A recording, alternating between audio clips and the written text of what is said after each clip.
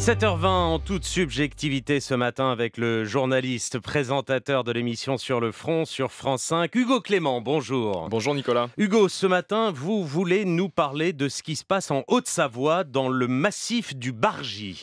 Oui Nicolas, si la savane africaine a le lion, la Haute-Savoie, elle, a le bouquetin des Alpes. C'est le roi de la montagne, un animal magnifique aux longues cornes recourbées. Il s'agit d'une espèce protégée, interdiction de la tuer. Enfin, en théorie, car la semaine dernière, la préfecture de Haute-Savoie a fait abattre 61 bouquetins des Alpes sur les 370 que compte le massif du Bargy. Et pour quelle raison? L'objectif annoncé est de lutter contre la brucellose, une maladie qui a été à l'origine transmise au bouquetin par les animaux d'élevage qui pâturent dans la montagne, mais qui aujourd'hui peut se transmettre dans l'autre sens, des bouquetins vers les bovins. Si un troupeau de vaches est infecté, il doit être abattu et cela menace la production de reblochon, le célèbre fromage. Sous la pression des éleveurs, le préfet, appuyé par le gouvernement, a donc décidé d'éliminer des dizaines de bouquetins.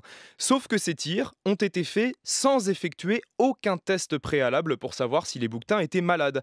Or, tenez-vous bien, selon les scientifiques, seuls 4% des bouquetins du massif du Bargy sont aujourd'hui infectés par la brucellose. Tirer au, tirer au hasard revient donc à tuer une grande majorité d'animaux sains.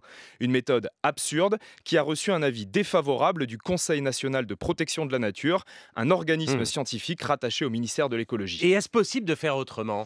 Oui, Nicolas, une autre méthode a déjà été testée avec succès. Il s'agit de capturer les bouquetins sans les tuer, de faire un test pour savoir s'ils sont malades ou non, puis d'euthanasier seulement les porteurs de la maladie. Depuis le printemps 2022, 170 bouquetins ont été capturés ainsi, et plus de 95% étaient sains.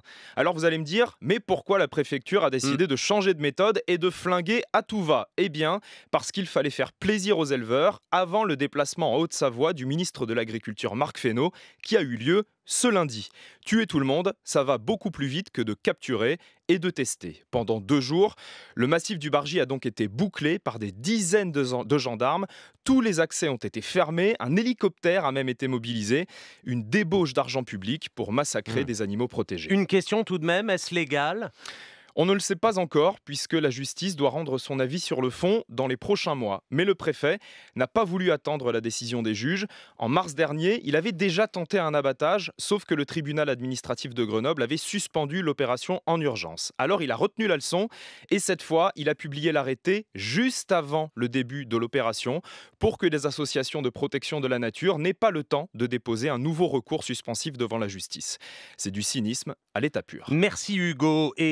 Suite avec deux bonnes nouvelles pour l'environnement. Vous nous en parliez dans deux de vos précédentes chroniques. Un, le Conseil d'État suspend la chasse traditionnelle aux alouettes. Et deux, le tribunal administratif de Grenoble suspend les travaux dans, les bois, dans le bois de la Colombière à la Clusaz. Merci encore Hugo et à mercredi prochain.